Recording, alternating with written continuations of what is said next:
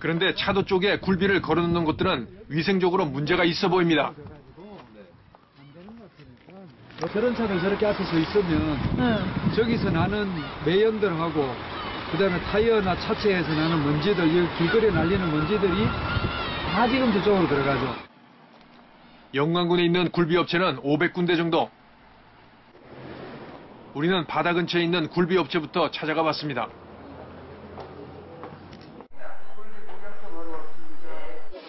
사이즈거든요. 얼마나 말린 거죠?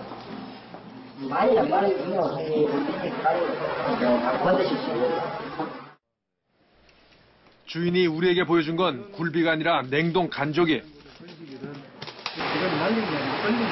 음, 옛날에는 그 그야말로 수분만 뺀 거지 거는 옛날식으로 마른 것도 있죠.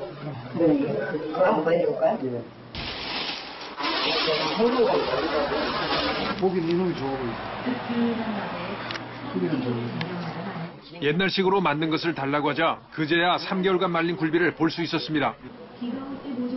시중에 흔히 판매되는 냉동 간조기와는 확실히 다른 색깔. 갈색빛이 살짝 감돕니다. 이 실제적으로 지금 그런데 크기는 이쪽으로 줄어드는 거는 뼈가 있기 때문에 조개가 안 줄어들어요 별로 비슷하죠. 같은 크기의 참조기를 3개월간 말리면 머리부터 꼬리까지의 길이는 큰 차이가 없습니다. 그런데 두께가 절반 정도로 줄어듭니다. 하는 사람 입장에서 이게 품이 더 많이 들어갔어요.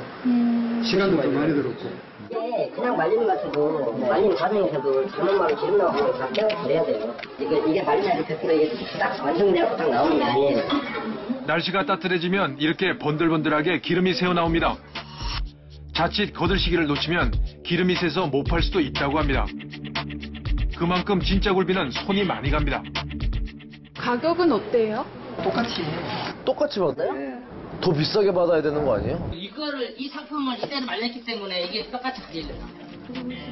놀랍게도 같은 크기의 참조기는 굴비와 냉동 간조기의 가격이 비슷합니다. 하루 만에 만든 냉동 간조기를 3개월간 정성 들여 해풍에 말린 굴비와 어떻게 같은 가격에 팔 수 있을까? 뭔가 이상합니다. 동일한 가격으로 판다면 잘못된 거죠. 네, 건조된 굴비를 그 벤치마크 할 수 있는 기준 가격으로 보고 냉동굴비 가격을 끌어올렸을 것이 사업자였던 그 이익 게 아닌가 싶은데요.